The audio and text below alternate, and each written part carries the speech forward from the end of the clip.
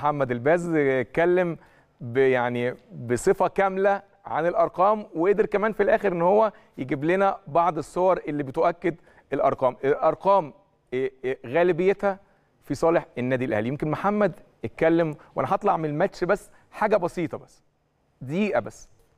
اتكلم على إيه، عدد لعيبة النادي الأهلي في منتخب مصر. أنا كنت عايز أتكلم كنت متردد أتكلم ولا ما أتكلمش.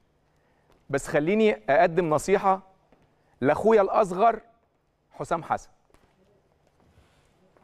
أكيد أكيد في ناس بتحب وفي ناس ما بتحبش مش هقول بتكره. إحنا بنتكلم على أشخاص. لكن كلنا كلنا بصفة عامة بنحب بلدنا وبنحب منتخب بلدنا.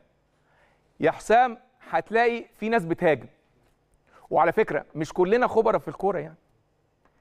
من حق أي واحد ينتقد ولكن النقد يكون باحترام من غير تجاوز في حدود. ومن حق الكابتن حسام حسن القانون يديله حق الرد برضه باحترام. ولكن كلنا ورا منتخبنا وانت المدير الفني للمنتخب فأكيد كلنا وراك. هتلاقي ناس بتخالفك شوية عادي. ده موجود. نصيحتي التركيز التركيز بشدة مع منتخب مصر. ده هيكون أكبر رد على المشككين.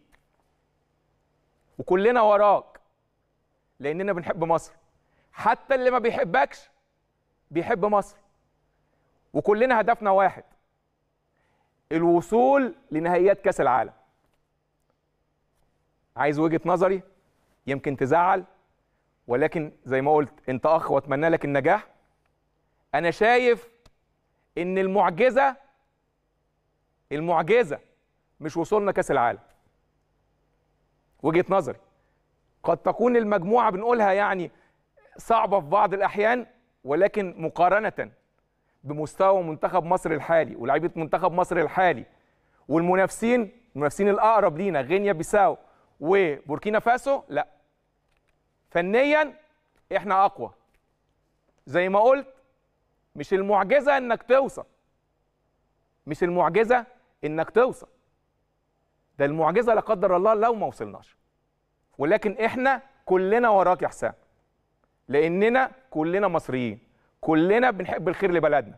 كلنا بنحب منتخبنا. ركز في المستطيل الأخضر ركز مع لعيبتك ركز مع المنتخب وإن شاء الله ده يبقى أكبر رد على المشككين من خلال النتائج. بالتوفيق إن شاء الله يا حسام. طبعا بيشرفنا إيه، دلوقتي الزميل العزيز والخبير التحكيمي المتميز كابتن ناصر عباس. مساء الخير يا كابتن وكل سنة